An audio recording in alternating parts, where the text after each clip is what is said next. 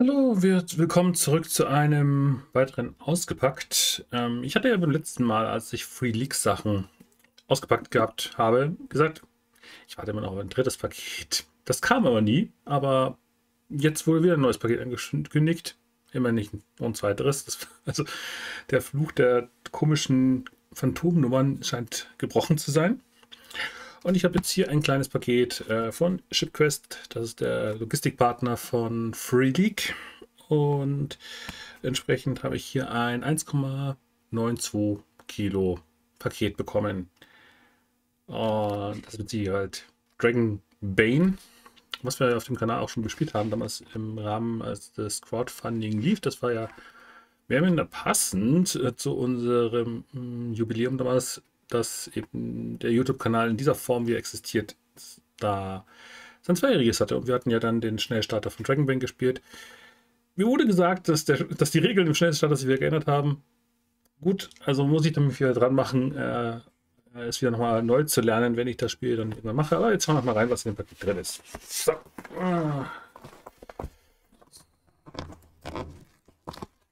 Mal gucken, ob diesmal irgendwas schief geht. So er in letzter Zeit immer wieder so schöne Späße. So, gucken wir mal. Ah, was haben wir denn hier? Zettel, Zettel, Zettel. Den Zettel, den behalte ich. So, haben wir eigentlich. Nein, nein, nein. Gut, dann kippen wir doch einfach mal den Inhalt einfach auf den Tisch. So, das war alles. Und dann gucken wir mal. So. Okay, also ich habe ein weißes Stück Papier bekommen. Jetzt muss ich ein bisschen höher stellen. So. Also, yay zu dem weißen Stück Papier. Nein, ich habe eine andere Vermutung, was das ist. Äh, es ist immerhin nicht geknickt. Jetzt schauen wir mal, wenn ich es jetzt umdrehe. Okay. Jetzt bin ich verwirrt. Ich hatte eigentlich mit der Darkwing Duck Ente gerechnet und nicht damit. Bin ich ein bisschen enttäuscht gerade. Ich habe mich auf die Darkwing Duck Ente gefreut. Das liegt. Also, das ist auch hübsch, aber das ist halt was anderes. Ähm. Ich glaube, ich werde nochmal die Kommentare beim Kickstarter nachschauen, ob ich die einzige Person bin, die irgendeinen anderen Print bekommen hat, als der ursprünglich angekündigt war. Also ich war unter den ersten Bäckern in den ersten 24 Stunden dabei. Ich bin jetzt ein bisschen enttäuscht gerade. Das finde ich jetzt gerade nicht so schön. Ähm, gut. Äh, ich stelle jetzt trotzdem mal äh, hier hin. Hm. Hm. Ja, dann schauen wir mal. Vielleicht ist ja die Darkwing Duck Ente auch hier drin. Ich habe nur, ehrlich gesagt, Zweifel. Weil ähm, das war ja, wie gesagt, für die ersten 24 Stunden. Und die werden jetzt die Kisten nicht äh, separat verschweißt haben, nachdem sie da das Artwork reingemacht haben. Äh, hm. Gut, dann packen wir erstmal das Ding aus dem. Das ist auf jeden Fall schwer. Ähm, immerhin habe ich hier.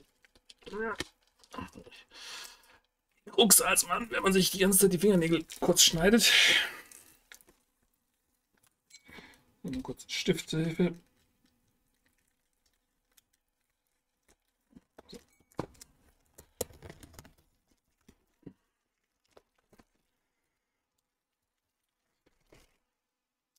Also wenn ihr ein besseres, also ein anderes Artwork bekommen habt, äh, schreibt in die Kommentare, ob ich jetzt wirklich nur einfach nur Pech hatte. Aber eigentlich war das so nicht, äh, war das eigentlich nicht so abgesprochen. Plastikhülle runter. So, das ist die Box. Das ist dasselbe Cover. Das hätte ich mir auch so in den Schrank stellen können, brauche ich dafür keinen Print. Also, ja. Gut, also, äh, Dragonbane. Murd and Mayhem Roleplaying. Mhm. Gut, dann gucken wir mal, was da drin ist. Ich habe ehrlich gesagt noch nie eine Free League Box als solche gehabt. Also ich habe ja die verbotenen Lande, aber das, die Box habe ich nur auf Deutsch. Das heißt, die kam vom Uhrwerk Verlag und jetzt, äh, das ist jetzt so die erste Box von Free League. Oh, dieser, dieser Geruch von, von Also, kennt ihr diesen Geruch, wenn, äh, ich kenne das auch von, von äh, Sachen von Pegasus-Spiele, wenn ich die Box aufmache oder so, diese Stanzbögengeruch. Das hat schon so was ganz Eigenes. So, ähm, gut. Äh, ein lustiges äh, Gelpäckchen, damit das Zeug nicht schlecht wird. Ähm, Aufsteller. Schön. Noch mehr Gelhäppchen. gut, also Aufsteller simple grüne Würfel. Okay. Schatzkarten. Und wenn ich so da hinten reingucke, nachdem da eine 1 ist, vermute ich mal, das sind die klassischen Initiativkarten, die wir auch von Verbotene Lande und den anderen Year Zero Spielen kennen. Man darf ja nicht vergessen, Dragonbane ist kein Year Zero. Dragonbane ist auch, äh, ist auch kein W20 im Sinne von äh, Dungeons Dragons, obwohl man einen W20 würfelt. Dragonbane ist eigentlich ein Copycat von ähm, der RuneQuest eben. Also ist eigentlich so gesehen ein, wir haben da ein Spross aus der Basic Roleplay-Ecke, aber sie haben es halt abgeändert, um damals entsprechend nicht mit äh, Chaosium in Konflikt zu geraten, nachdem ja irgendwie das Spiel dahinter sich irgendwie nur in Schweden gehalten hatte. So, also das ist Adventure Okay, also ich habe jetzt hier mehrere Adventure-Karten. Da stehen dann verschiedene. Schon, was haben wir denn hier? Village of uh, the Village of the Day Before. Okay, plus entsprechenden Text. Die Karten sind auf jeden Fall sehr schön wertig gemacht. Die haben irgendwie so ein lustiges Nano. Ich weiß nicht, wie weit sieht man das denn hier in dem. Wenn ich das im Licht drehe, nee, so sieht man das sieht die Kamera nicht. Das sind ganz viele kleine Punkte um der, um der Versiegelung hier entsprechend. Es diesen. Das erinnert mich so ein bisschen an die. Ich, habe meine Kinder haben ja die diese komischen äh, Bücher von. Ich weiß nicht mehr, welcher Verlag waren das eigentlich. Äh, Tiptoy. Da sind auch immer so lustige QR-Codes in das Papier eingelassen und zwar so unsichtbar. Und äh, das so wirken gerade diese Karten. Die haben ein ganz feines Punktmuster. Ich persönlich mag ja diese College-Blöcke mit Punkt statt äh, Karo oder Linien. Ähm, das finde ich immer ganz schön. Ähm, okay, also das sind jetzt so gesehen Adventure-Karten mit Ideen für Adventure. Wenn ich jetzt mal so eine Treasure-Karte anschaue, was haben wir denn da drauf? Ähm, okay, Interessanter Schatz, das ist eine Ratte. Ähm, ah ja, und hier ein Fährer. Äh, okay, also man. Mögliche Schätze sind dann offiziell fallen. Ah, schön. Äh, als Spielkarten. Gut. Ähm, das hat man damals nicht gemacht. Begiftet da. Hier ein Schild. Mhm. Small Schild, Large Schild. Okay, man muss das dann nochmal auswürfeln. Noch muss ich entsprechend eine Notiz machen. Das ist irgendwie. Hm. Also da müsste man wahrscheinlich irgendwie so, vielleicht mit so einer Büroklammer vielleicht hinschieben, welche, welche Zahl man ausgewürfelt hatte, damit man sich daran erinnert später. Oder so. Das wäre so mein, mein Vorschlag. Ich finde mich frage, wie gut die Karte mit Büroklammern klarkommt, wenn man das dann beim Spiel einsetzt. Ich bin, ja, würden meine kind, die Kinder, mit denen ich äh, zu tun habe, besser Englisch sprechen, könnte ich mal, beziehungsweise überlege ich es trotzdem und versuche es nochmal äh, simultan zu ersetzen, aber ich glaube, das, dafür haben sie nicht die Geduld. Äh, gut, dann. Naja. Äh, ein bisschen Werbung von Free League. Nur was anderes. Äh, bis jetzt hatte ich noch nie Werbung von Free League bekommen. Ähm, gucken wir mal, was, was ist denn so. Was bringt denn? Also hier ist die Ente, die ich vermisse. Hat jemand diese Ente gesehen? Ich hätte sie gerne als Druck. Free League, hallo, ich habe eine Ente bestellt. Kein, kein Drachen. äh. Story of my life. Ich kriege keine Ente. Das ist äh, Blade Runner. Ja. ja. Da habe ich nur das PDF mitgenommen. Ich war mir bei Blade Runner. Da war die akademische Neugier da, aber ich war mir nicht sicher. Bei Walking Dead ist es dasselbe. Ich bin, bin nie, also ich habe die ersten paar ersten einer Staffeln von Walking Dead geguckt und danach äh, hat sich irgendwie das bei mir ver, ver, ver, verranzt, weil ich dann irgendwie mit der dann, ich weiß nicht, was, Netflix oder ein anderes Streaming-Dienst, auf jeden Fall ähm, hat sich die, äh, habe ich dann irgendwie eine Folge übersprungen oder ausgesetzt und danach war ich völlig verwirrt und habe aufgegeben. Sachen passieren. Ähm, genau, bei, bei der One Ring habe ich auch nur die PDFs mitgenommen. Äh, bin mir nicht sicher, ob ich die deutsche Ausgabe haben möchte. Ähm, noch viel schlimmer ist die Frage, habe ich dafür auch Zeit? Und ich sage im Zweifel, nein. Ähm, mit dem, mit dem Lord, äh, Ring, äh, Lord of the Rings. Ja, mein, mein Herzensding, äh, mein ewiges Kampagnenprojekt, äh, Coriolis. und dessen äh, geistiger Nachfolger äh, mit, mit äh, cooler Franchise Alien. Äh, Vasen wird natürlich hier auch noch weiter gespielt. Äh, genau. Äh, Mutant. Genau. Und die Zonenkriege. Mhm, mhm. Ich weiß noch nicht. Hat irgendjemand jetzt eigentlich die Lizenz für dieses Tabletop? Also ich weiß es nicht. Das wäre interessant. Ähm, so, verbotene Lande. Da habe ich jetzt das, genau, das hatten wir beim letzten Mal ausgepackt. Ähm, das liegt so gesehen auf Halde. Twilight habe ich mir auch nur als PDF besorgt, aber ich habe es einfach nicht mit Krieg. Sorry, aber da war einfach wirklich so, ich möchte jetzt wissen, wie die Regelmechanik ist, weil ich einfach neugierig bin, was passiert bei der Evolution von Year Zero, Tales from Loop. Ja, keine Zeit, keine Zeit. Ähm, aber vielleicht kommt ja noch was trotzdem auf dem Kanal, nur nicht von mir. Gucken wir mal. Ähm, Symborum. Wir haben ja dasselbe in grün. Aktuell hat Symborum immer hinten anzustehen, weil ich ja erstmal Rundquest versuche. Aber das, das, sieht einfach, also so Artwork-technisch und so vom Aufbau, das spricht schon an. Und genauso die äh, Sachen hier von Merkborg, Cyborg, Into the Odd. Aber das Einzige, was ich davon mir habe, ist das PDF von Into the Odd und das PDF von Dead Space. Äh, Dead in Space. Naja. Ähm, und dann nochmal hier. Man merkt schon, wie viele Systeme Free League an der Stelle hat. Aber wo ist die Ente? Ich glaube, ich werde dieses ganze Video wahrscheinlich damit verbringen, mich darüber auszulassen. Ich hätte gerne meine Ente gehabt.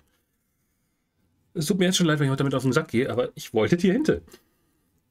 Bin ein bisschen zwider. Wo ist die Ente? So, schauen wir mal. Was haben wir denn noch an, an Schätzen? Ähm, 1, 2, 3, 4, 5, 6, 7, 8, 9, 10. Schauen wir mal. Ähm, Kupfermünzen. Naja, das war kein guter Schatz. Ähm, letzter Schatz. Noch mehr Kupfermünzen. Gut, machen wir gleich entsprechend richtige Stapel. Improvisierte Waffen. Improvisierte Waffen. Was haben wir denn so? Äh? Improvisierte Waffe. Patch of Dirt. Okay, ich schmier irgendwann Schmutz, Schmutz ins Gesicht. Ne? Okay, ich muss definitiv nochmal die, die Regeln noch schauen. Ein Stein. Ja, das ist auch okay. Äh, ah ja, okay, da steht drauf. Ah ja, improvisierte Waffen in bestimmten Gegenden. Ah ja. Äh, jetzt verstehe ich es. Okay. Das ist, sind die improvisierten Waffen, die, was man so halt findet in einem Wald. Was findet man so in einer Höhle? Oh. Hm. Ein Stalagmit. Hm. Ähm, habe ich den Haarmund. Ähm, da, da, da.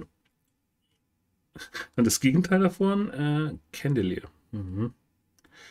Gut, das sind die für Ding. Jetzt. Okay, was finde ich. Welche improvisierten Waffen habe ich für eine Wirts Wirtshausschlägerei? Ich bin noch einen Haarmund. Jetzt bin ich los. Ich verliere mein, ich glaube, mein Bart fällt aus. Ähm, so. So, mal schauen. Was brauche ich für eine Wirtshausschlägerei? Eine, ein brennendes Stück Holz aus dem äh, ja, aus dem Feuer. Ja. Ähm, Firework. Okay. Brennendes Holzstück. Äh, Bucket of Soapy Water. Juhu, Abwasser. Einmal mit Abwasser. Das, das stelle ich mir jetzt lustig vor. So, genau. Ähm, okay, also ich habe vier verschiedene improvisierte Waffenkarten für drei sehr spezifische Regionen. Wirtshaus, Wald, Höhle. Gut. Ähm, dann haben wir Initiative. Das müssten insgesamt genau 10 sein. 1, 2, 3, 4, 5, 6, 7, 8, 9, 10. Klassisches Initiative-Deck 1 bis 3. Genau. Uh, draw a new initiative card each round. Genau. Und on your turn you can move, perform action, flip this card when you have performed your action. Genau. Und gut, das ist jetzt nicht wie bei eine Lande, dass man die Karten irgendwie dreht, je nachdem, welche dieser Aktionen man schon gemacht hat. Weil hier steht ja, you can move and perform one action. Hm? Weil, also es gibt keine, genau, es gab ja keine verschiedene. Also das ist auf jeden Fall ein bisschen leichter als Verbotene Lande. Aber es ist ja auch offiziell das, kind, ne, das Kinder-Jugendliche Rollenspiel von Free League. So, jetzt packe ich mir mal die ganzen Karten wieder zusammen. Okay, also Kartendeck cool, nur glaube ich, werde ich das erst hundertprozentig einsetzen können, wenn ich diese Kartendecks auf Deutsch habe. Immerhin haben wir, wissen wir ja schon, dass Dragonbane ja bei Uhrwerk dann übersetzt wird. Im nächsten Jahr kommt das entsprechende Übersetzungs-Crowdfunding. Aber ich denke, das ist eine sichere Bank. So, dann haben wir hier das klassische Deckblatt bei so einer Starterbox. Ähm, Decide who fulfill the Game Master. Mhm. Ja, das wäre ich in dem Fall wahrscheinlich. Und each player can create a character using the rules in Chapter 2 or pick one of the pre-generated characters. Jetzt bin ich mal auf die pre-generated characters. Wieder diese Hände. Ich glaube, ich kriege langsam einen persönlichen Breakdown, wenn ich öfter jetzt die Hände sehe die überall drauf gedruckt ist, nur nicht da, wo sie sein. ah, ist das gemein. Das ist so gemein. Ah. Okay, ich glaube, ich kippe einfach jetzt mal kurz den Inhalt dieser Kiste aus. So, die Kiste ist leer. Ähm, stelle sie den, Decke, den Boden mal dahin. So, also schauen wir mal kurz durch. Was haben wir denn hier? Äh, das Rulebook. Es ist ein Softcover äh, einer gewissen Dicke. Ähm, hat Mal kurz nachschauen. Äh, etwas mehr als 100 Seiten. Also hier die letzte Seite hat die Nummer 112. Das heißt also, die Regeln sind in 100 Seiten untergebracht. Dann plus Ente.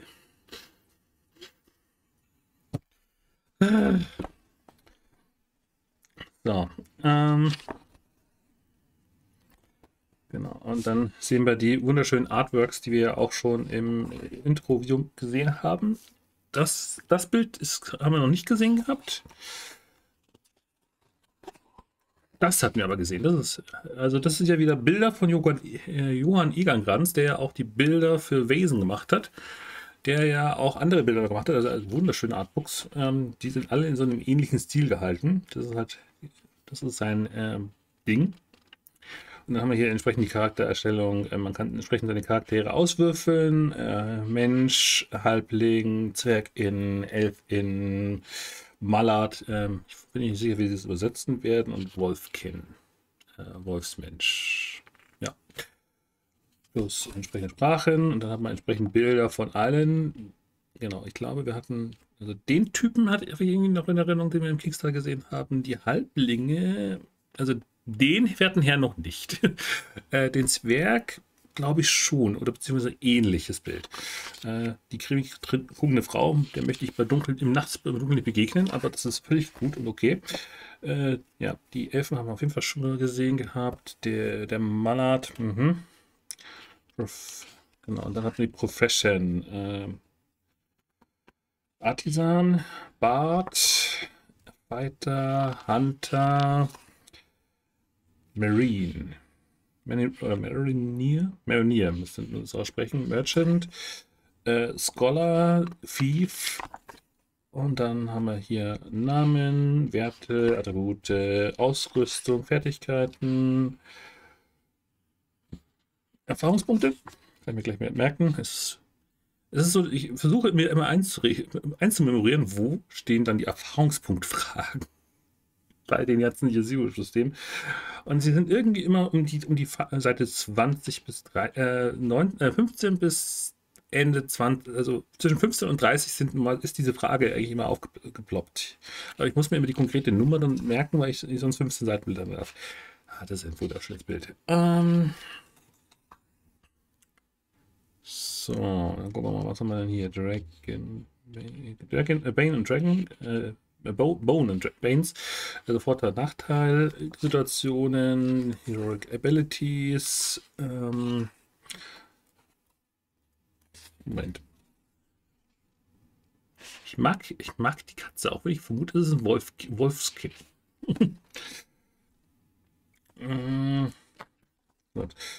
gut, das Bild kennen wir auch. Also, ähm, Wo ist meine Ente?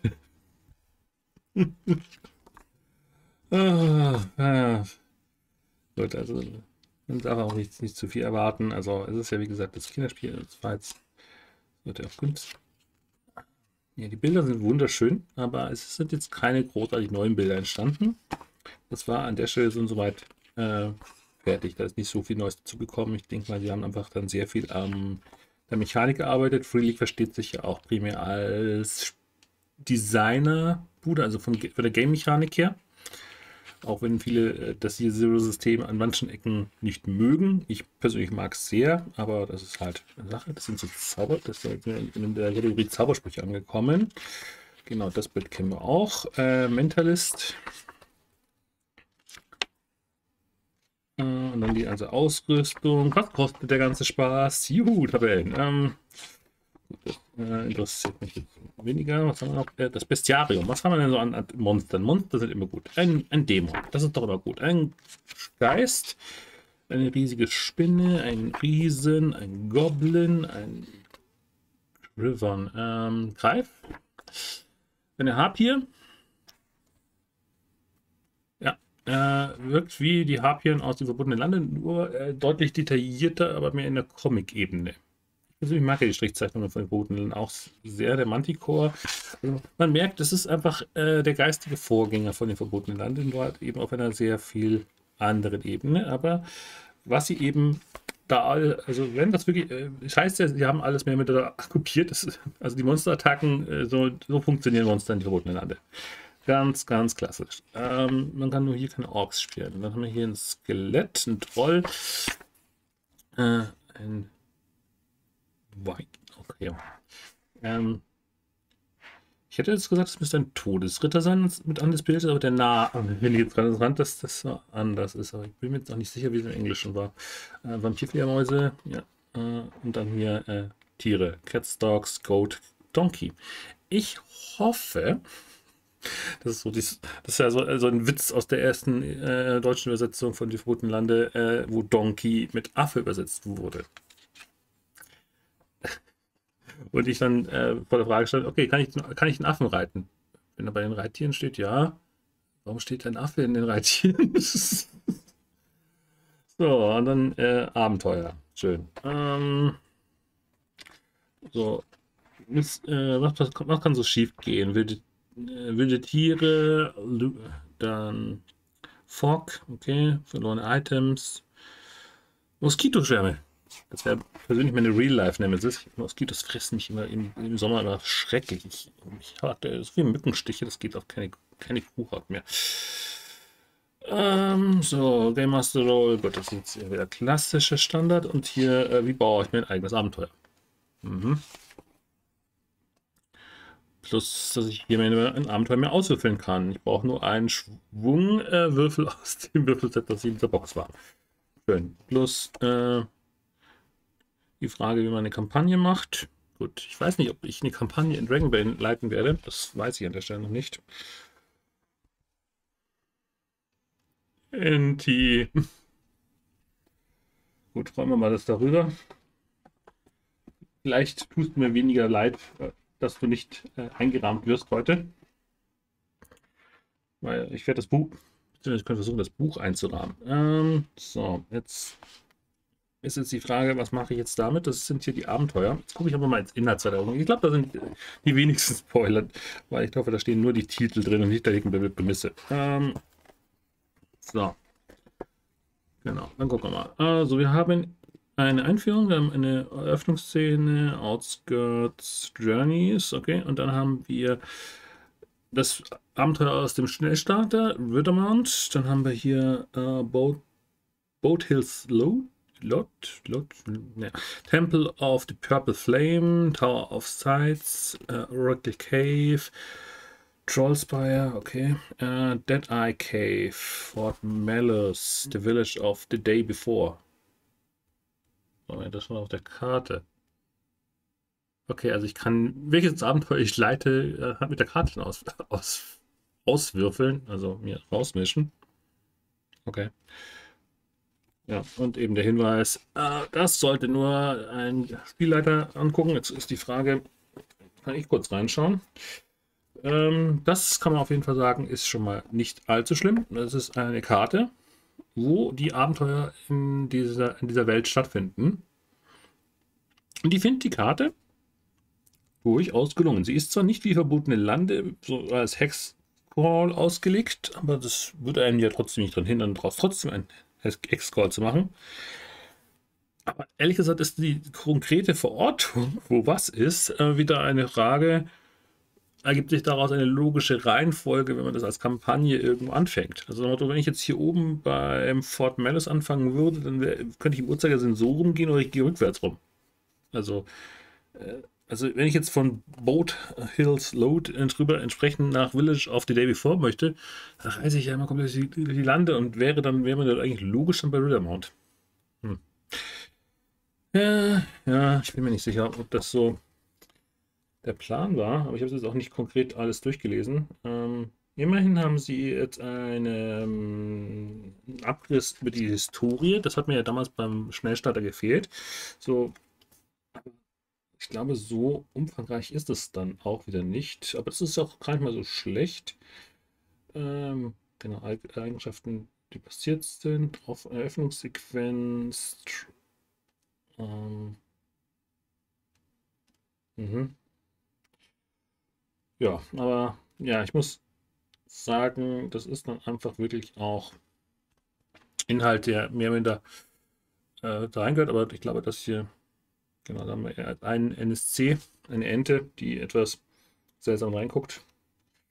Noch mehr NSC. Also die Artworks in den Abenteuern, die sind mir neu. Ähm, ich glaube, da ist jetzt auch die Zeit reingeflossen. Genau. Aber das sieht doch alles hübsch aus. Also vielleicht versuche ich es wirklich mal mit, meinen, mit, meinen, mit den Kindern. Bin nur nicht sicher, wie ich das mit der Simultanübersetzung so gut hinkriege, aber wenn ich es gut vorbereite und mitmache, why not? Ähm, wobei, ein bisschen ist so. Ich bin mir nicht sicher, also die Grafiken sind ein bisschen schwankend, finde ich so in der in der Variation, aber sie wirken auf jeden Fall einheitlich. Ähm, das liegt auch daran, dass irgendwie die Monster auch schwierig zu zeichnen sind, weil sie manchmal auch. Naja. Egal. Auf jeden Fall. Puh, okay, das ist, das ist schick, aber. Conclusion, okay, das Ende. Äh, man könnte einen Drachen treffen. Genau, auf der Rückseite ist übrigens, auf der Rückseite der Softcover ist übrigens nichts drauf. Also das ist in dem Fall jetzt hier ein untoter Nikromant oder ein untoter Führer. Ich würde das jetzt mal als männlich lesen. Naja. Ja. Immerhin äh, erweckt es nicht die. Wo ist die Ente? Momente bei mir. Ähm, so, was haben wir denn hier? Ähm, ein Solo-Abenteuer. Alone in the Deep Fall Breach. Mhm. This adventure is also suitable for a small group of players without a GM. Work together to describe scene. Okay, also man könnte es alleine spielen ohne ein, eine Spielleitung. Mhm. Mhm, mhm. Okay. Ich bin mir noch nicht sicher, wenn ich jetzt. Wie viele Seiten hat das Ding jetzt gerade? Äh, Core Solo Tools, okay. Tab, Survival Spiele, Mission, okay, das ist mehr weniger eigentlich so ein Generator, wo man sich Sachen auswürfeln kann. Ist das jetzt so von den Leuten, die ähm, die bisherigen Solo-Regeln gemacht haben? Ich sehe gerade nicht, wer das Wer hat das geschrieben? Das steht jetzt hier leider nirgendwo. Schade. Also, vermute mal, das sind die versprochenen Solo-Regeln, dass man Dragon Bane potenziell auch allein spielen kann. Allein, allein. Ähm, so. Dann haben wir hier die eine äh, große Posterkarte mit dem, was wir vorhin gesehen haben in dem Buch. Und da haben wir Okay. Mhm. Hier ist dann so gesehen keine Verortung drin, die wir vorhin gesehen haben. Beziehungsweise auch hier Outskirt ist drin, aber da ist, genau, also manche Orte sind eingetragen, andere nicht. Man kann an der Bilder die entsprechend so halbwegs zusammenreimen. Jetzt ist die Frage, was haben sie auf die Rückseite? okay, auf die Rückseite haben sie die ähm, Namen der Bäcker geschrieben. Hoppapapa. Okay. Uh, our top backers. Mhm, mhm, mhm. Mal gucken, ob ich meinen Namen kurz finde. Ähm, es ist nach den Vornamen sortiert. Na, dann gucken wir mal.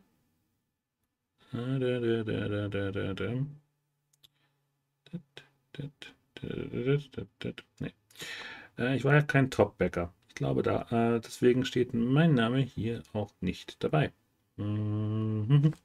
Ich habe hier nur die kleine Physisch-Box genommen, weil ich ja die Ente haben wollte, die ich nicht bekommen habe.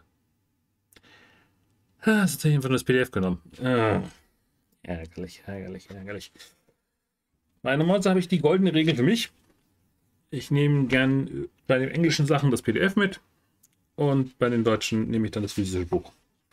Und versuche eigentlich bei den deutschen jetzt wieder zurück zum Modus operandi zurückzukehren, dass ich eigentlich nur das physische Regelbuch besorge und mir nicht äh, diverse Softcover-Adventure-Bände besorge, weil die spiele ich ja so, die, die, leite ich ja dann einmal und dann äh, sind sie vielleicht dann weg.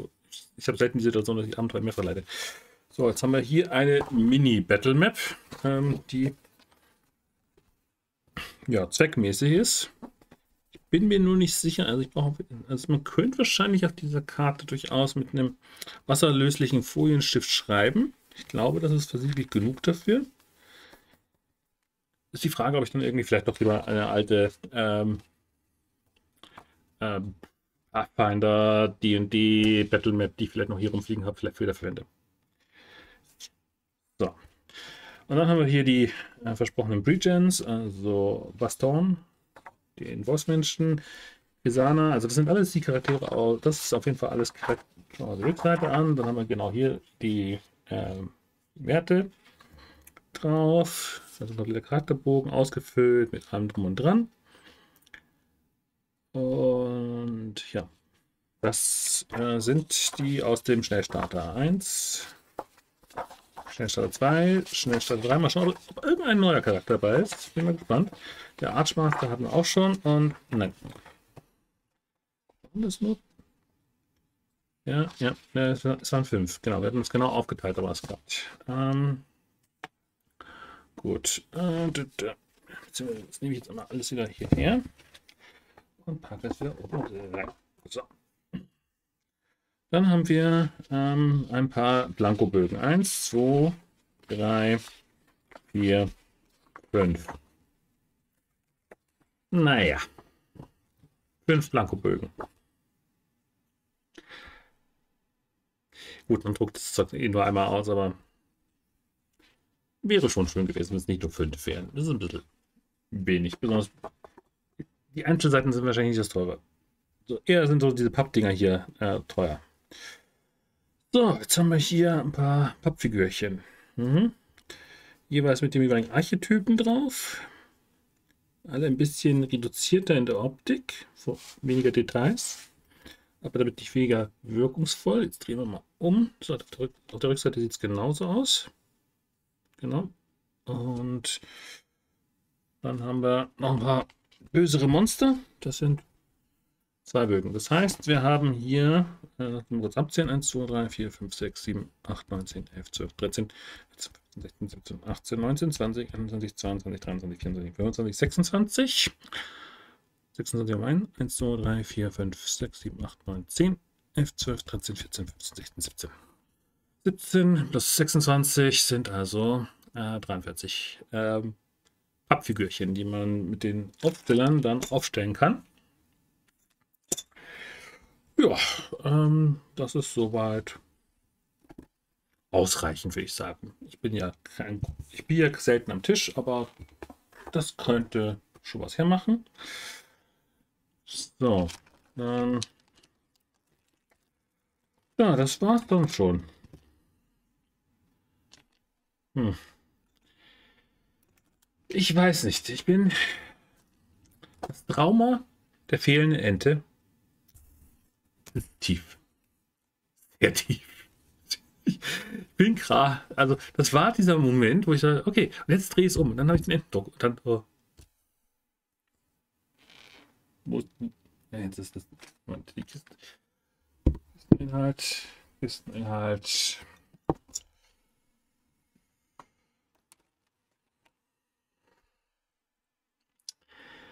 Free League.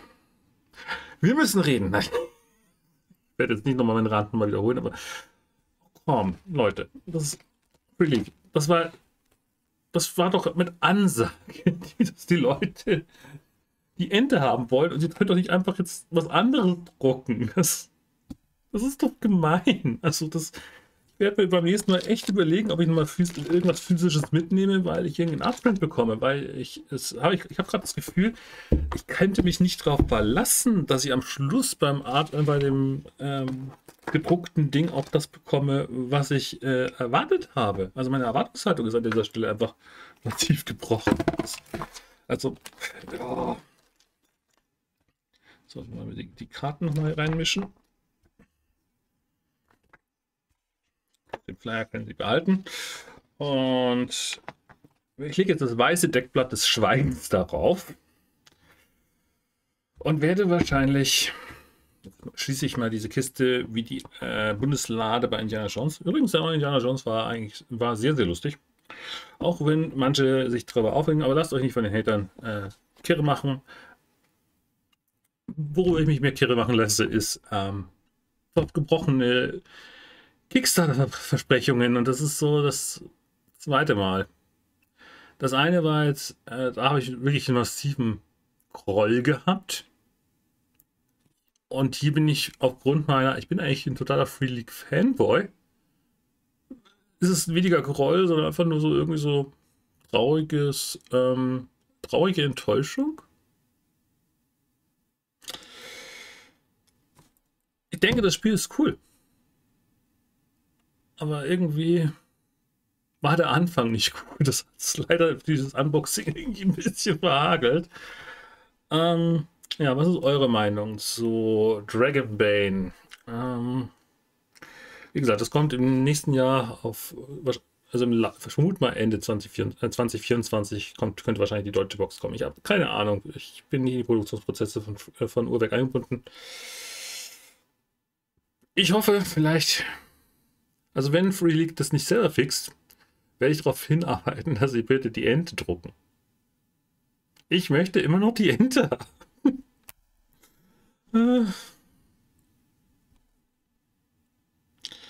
ja, ähm, gut. Wie gesagt, was haltet ihr von Dragonbane? Ähm, wir hatten ja, wie gesagt, den, den One-Shot mit dem Schnellstarter gemacht. Schau, sollen wir mal schauen, dass wir nochmal irgendwie so ein One-Two, äh, One- oder Two-Shot nochmal machen bemerkt, habe ich aktuell nicht die Zeit und auch nicht mehr. Ich glaube, auch die Kapazität ist für dieses Jahr effektiv ausgebucht von meiner Planung her schon. Ähm, ich muss, es wird auch irgendwann wieder Zeit für ein Kanal-Update. Ich bin ja, was das Kanal-Update betrifft, ja halbwegs mittlerweile im, im grünen Bereich. Äh, ich muss noch schauen, dass ich noch ein paar einzelne Sachen fertig kriege. Aber im August ist Wesen vorbei, von meiner Seite her. Schauen wir mal. Ich bin mal guter Dinge. Und ihr könnt ja mal entsprechend auch in den Kommentaren da lassen, was von den Freelix-Systemen euch am meisten anlacht, was ihr euch wünschen würdet, wenn es hier auch mal ein Extra-Play gibt mit den äh, vielen Nasen, die sich hier mittlerweile angeschlossen haben. Ähm, wenn ihr euch entsprechend hier dieser ähm, munteren Meute anschließen wollt, könnt ihr das gerne tun. Äh, Link zum Discord findet ihr in der Beschreibung. Dann könnt ihr auch entsprechend, ähm, wenn ihr wollt, mit mir oder mit anderen über Dragonbane fachsimpeln. Ob ähm, das Trauma von der Verlust der äh, Malat-Ente entsprechend euch genauso hart getroffen hat oder ob ihr doch diesen Art, äh, diesen Artprint bekommen habt, der ursprünglich versprochen wurde. Ich habe Zweifel, aber egal. Gut, ich würde sagen, schließen wir einfach, bevor ich noch weiter über Enten äh, sag, äh, äh, mich auslasse. Äh, ich finde Enten cool. Ich sehe nur keine Ente aktuell in Rundenquest bei mir kommen. auch wenn die Enten ursprünglich von dort ja kommen. Ähm, aber genau, ich ähm, wie gesagt, das hier ist mehr oder minder ein Copycat, der schwedische Copycat der in den 80er Jahren von den Sachen, die so um Rundfest herum passiert sind. Ähm, und das wurde ja von den Schweden kopiert und äh, weitergetrieben. Ähnlich wie DSA zu D&D ein Copycat ist. Auch nur umgedreht. Und am Schluss kommt dasselbe Ergebnis raus. Man muss niedrig würfeln, mal zur Abwechslung. Das ist doch auch mal schön. Und das ist einfach nur ein Basic Roleplay mit nämlich 20. Und, aber ein sehr lustiges mit Year-Zero-Anleihen. Und ich fand das, den Schnellstarter gut. Ich habe keinen Zweifel daran, dass das Spiel auch gut ist. Und ja, wenn ihr entsprechend dafür seid, dass wir das mal hier bespielen, im, wahrscheinlich am Anfang nächsten Jahres, dann lasst doch einfach hier einen Kommentar dazu da. Oder wenn ihr das mitspielen wollt, äh, schließt euch den Discord an.